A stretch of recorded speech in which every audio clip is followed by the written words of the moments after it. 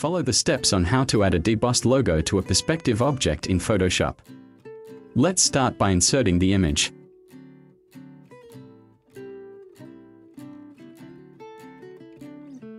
Next, open the logo without a background.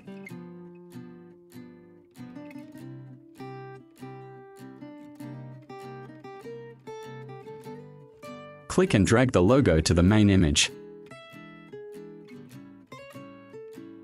And this can be deleted.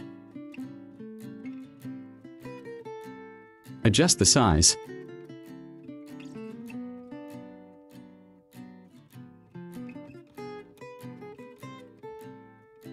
Right-click on the layer and convert to Smart Object. Press Ctrl T to transform and adjust the position.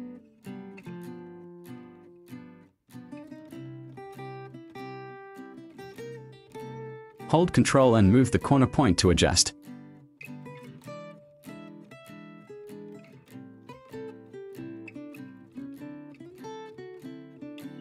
Press Enter.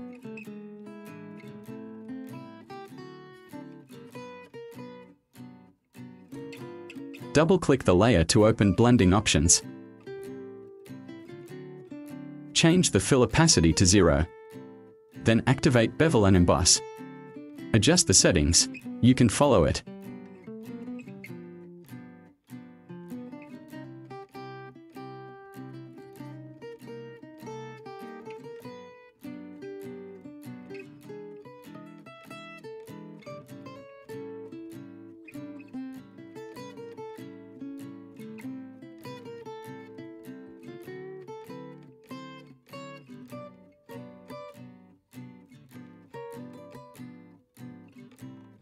Then activate Inner Shadow and adjust.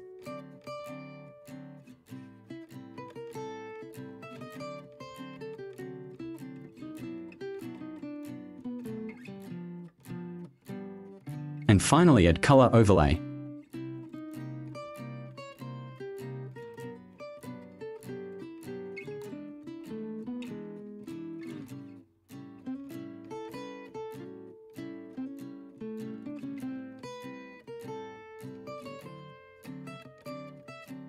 And click OK. And here are the results. Double-click the thumbnail to replace the logo.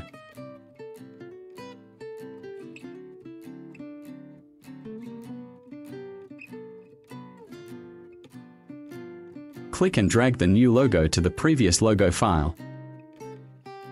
Turn off the previous logo layer and adjust its position. Press Ctrl S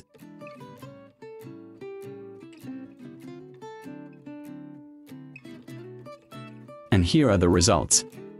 You can also still move or resize the size if needed. Finish and good luck. Thank you for watching until the end. If there is something you don't understand, write a comment below. Click like for support and activate the notification bell to get the next video update.